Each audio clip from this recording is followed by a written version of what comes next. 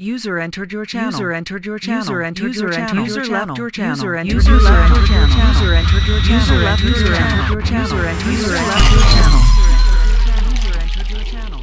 User left your channel.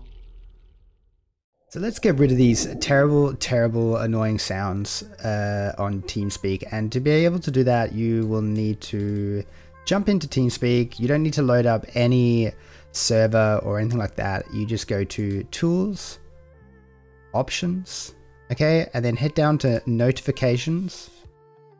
Okay, and it says here Sound Pack. Place it to Sounds Deactivated. Over here, place this to no sounds and then we just hit apply and it will not do it anymore and you'll be able to enter any server and if you are a streamer or anything like that you no longer hear user has left the channel or user has entered the channel. And it is peaceful finally